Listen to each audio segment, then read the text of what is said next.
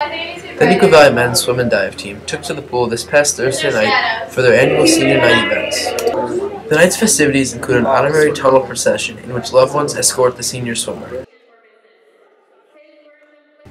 For some of the swimmers, this can be a very emotional time. It really, help, really helps me celebrate my last year here and um, on the team.